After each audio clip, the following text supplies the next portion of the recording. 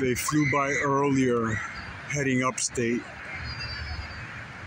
They were flying really low, but I was, uh, there was too much going on to film.